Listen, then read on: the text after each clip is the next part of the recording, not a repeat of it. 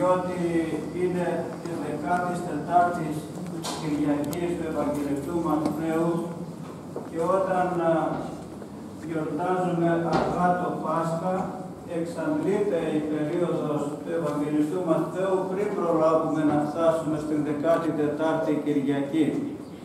Εφέτος που γιορτάζουμε πολύ νωρίς το Πάσχα, προλάβαμε και την ακούσαμε οριακά, διότι την άλλη Κυριακή θα έχουμε, θα είναι η Κυριακή πρώτης υψώσεως, η μεθεπόμενη Κυριακή θα είναι Κυριακή μετά την ύψωση του Τιμίου Σταυρού και κατόπιν αρχίζει η περίοδος του Ευαγγελιστού Λουκά. Μας λέει η παραβολή των βασιλικών γάμων ότι ομοιώθη η Βασιλεία του Θεού ανθρώπος βασιλεί ως της επίησε γάμου στο Υιό αυτού. Βασιλιάς της παραβολής είναι ο βασιλεύς των βασιλευόντων, ο ύψιστος Θεός. Μονογενής Υιός του είναι το δεύτερο πρόσωπο της Αγίας Τριάδας, ο ενανθρωπίσας Υιός και Λόγος του Θεού, ο νυμφίος της Εκκλησίας. Νύμφη Χριστού είναι κάθε ψυχή που ποθεί να ενωθεί με τον Κύριο και η Εκκλησία ως σύνολο. Η βασιλική γάμη είναι πνευματική γάμη, άρχισαν από την ημέρα της Πεντηκοστής που είναι η γενέθριος ημέρα της Εκκλησίας και θα ολοκληρωθούν την επιφανή και ένδοξη ημέρα της Δευτέρας Παρουσίας. Στο μεταξύ διάστημα όσοι άνθρωποι πιστεύουν στο Θεό και βαπτίζονται εις το όνομα του Πατρός και του Ιού και του Αγίου Πνεύματος και γίνονται μέλη της Εκκλησίας, αποτελούν την ύμφη του Χριστού. Αυτή λοιπόν είναι η βασιλική γάμη, η επισημότερη από όλους τους γάμους και πόσο τιμητικό είναι να συμμετέχουμε και εμείς στους βασιλικούς γάμους. Είναι υψηλή και αγία αυτή η κλίση που μας κάνει ο Κύριος, να μας καλεί στην εαυτού βασιλεία και δόξα. Αλλά δεν ανταποκρίνονται όλοι στη τιμητική πρόσκληση. Μας λέει στη συνέχεια η Ευαγγελική Περικοπή ότι οι πρώτοι καλεσμένοι αρνήθηκαν να προσέλθουν, ούκ ήθελαν ελθύν. Τότε ο βασιλιάς έστειλε πάλι τους απεσταλμένους του, τους υπηρέτες του, να τους καλέσουν δεύτερη φορά και να τους πούνε τα σφακτά καλομαγειρεμένα σας περιμένουν, το τραπέζι είναι στρωμένο, γιατί καθυστερείτε να έρθετε; Αυτοί όμως πάλι έδειξαν αδιαφορία αμελήσαντες, αμέλησαν να προσέλθουν. Προτίμησαν άλλοι να πάνε στα χωράφια τους, άλλοι να ασχοληθούν με εμπορικές συναλλαγές και άλλοι, η χειρότερη περίπτωση αυτή, κρατήσαντες τους υπηρέτες, τους απεσταλμένους, δηλαδή τους έβαλαν στη φυλακή και τους ίδρυσαν και τους εφώνευσαν ο Θεός να μας ελεήσει να μην φτάσουμε ποτέ σε τέτοιο σημείο να γίνουμε πολέμοι του Θεού. Εδώ υπονοεί η Ευαγγελική Περικοπή αρχικώς τους Ιουδαίους, οι οποίοι κράτησαν πολεμική στάση έναντι του νυμφίου της Εκκλησίας. Αλλά όμως δεν είναι κοινός κριτός αυτός που μας καλεί και είναι προσβλητικό να μην προσέλθουμε. Και βλέπουμε στη συνέχεια ότι τιμωρήθηκε αυτή η απαράδεκτη συμπεριφορά τους. Έστειλε ο βασιλιάς τα στρατεύματά του και τους φωνείς τους εξολόθρευσαν και την πόλη τους την κατέκαψαν.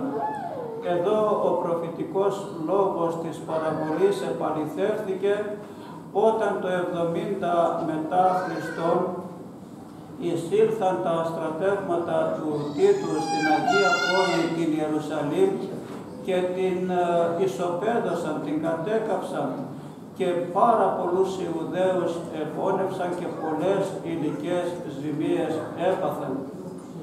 Και τι απέγινε με τους βασιλικούς γάμους, ματαιώθηκαν, δεν ματαιώθηκαν, αλλά ο βασιλιάς έστειλε πάλι απεσταλμένους να καλέσουν και άλλους πιο μακριά στα, στους δρόμους, στα τρίστατα και ε, κάλεσαν όσους βρήκαν και επλήστη ο γάμος ανακειμένων, γέμισε ο γάμος. Εδώ υπονοεί ότι ε, εκτός από τους Ιουδαίους κάλεσε ο Άγιος Θεός και τους εθνικούς κατόπιν που ήταν ειδωλολάτρες. Ως εκ τούτου όλοι στο τέλος είμαστε καλεσμένοι στη Βασιλεία του Θεού και εξαρτάται από εμάς αν έχουμε την καλή διάθεση να ανταποκριθούμε ή όχι. Όσοι ανταποκρίνονται δεν είναι απλώς οι κλητοί, αλλά οι εκλεκτοί. Όσοι δεν ανταποκρίνονται είναι μόνο κλητοί, εφόσον όλοι καλούνται. Η Εκκλησία είναι ανοιχτή σε κάθε άνθρωπο, κάθε φυλής. Στη συνέχεια μας λέει η Ευαγγελική Περικοπή ότι μπήκε ο βασιλιάς μέσα στην αίθουσα που ήταν η προσκεκλημένη και πρόσεξε ότι κάποιος δεν φορούσε ένδυμα γάμου και του είπε «Ετέρε πώς ήρθες όδε μη έχουν ένδυμα γάμου». Τα χρόνια εκείνα επειδή ήταν φτωχοί οι άνθρωποι μπορούσε όποιος ήθελε να ζητήσει από τη βασιλική υπηρεσία επίσημη στολή για να προσέλθει στο γάμο, θα του την έδιναν δωρεάν. Αυτός λοιπόν ήταν τελείως αδικαιολόγητος που εισήλθε χωρίς να έχει ένδυμα γάμου. Και γι' αυτό παρατηρήθηκε οφείλουμε να γνωρίζουμε ότι στη Βασιλεία του Θεού δεν θα βρίσκεται κανείς χωρίς ένδυμα γάμου. Ούτε στην τράπεζα της Θείας Κοινωνίας ε, που στην παρούσα ζωή παρατίθεται μπορούμε να προσερχόμεθα χωρίς να έχουμε καθαρή καρδιά. Πόσο πολύ πρέπει λοιπόν να προσέχουμε. Μας εδόθηκε ένδυμα γάμου κατά το Άγιο Βάπτισμα. Αυτό όμως το ένδυμα του γάμου, την θεοήφαντη στολή του βαπτίσματος, οφείλουμε να την διατηρούμε καθαρή, να αγωνιζόμαστε. Και αν σαν άνθρωποι που είμαστε ε, ε, αμαρτάνουμε να προσερχόμαστε στο φιλάνθρωπο μυστήριο της Ιεράς Εξομολογήσεως να καθαρίζεται η ψυχή μας και μετά να προσερχόμεθα στα Άγια Μυστήρια. Γι' αυτό λέει η συνέχεια της παραβολής ότι αυτός ο, ο άνθρωπος που δεν είχε ένδυμα γάμου εφημώθη, δεν ήξερε τι να απαντήσει, έκλεισε το στόμα του. Ήταν τελείως αδικαιολόγητος και ο βασιλιάς φυσικά ε, είπε μετά στους απεσταλμένους του να τον πάρετε από εδώ και να τον πάτε στο πιο βαθύ σκοτάδι, εκεί που είναι ο κλαθμός και ο πριμός των οδών διότι πολλοί είναι οι, εκλε... οι εκλεκτοί, αλλά λίγοι οι εκλεκτοί. Από την κατάληξη της παραγωνής εννοούμε ότι δεν αδιαφόρησαν μόνο οι πρώτοι προσκεκλημένοι, αλλά πολλές φορές και αυτό είναι γνώρισμα της εποχής μας και εμείς είμαστε αδιάφοροι και εμείς είμαστε αμελείς και ράθιμοι και εμείς δεν προσέχουμε και αμαρτάνουμε και λερώνουμε το έντυμα της ψυχής μας. Πόσο πολύ λοιπόν πρέπει να μας απασχολήσει αυτό να ζούμε ζωή σύμφωνη με το θέλημα του Θεού και να αγνίζουμε αυτούς, να καθαρίσουμε το εσωτερικό μας.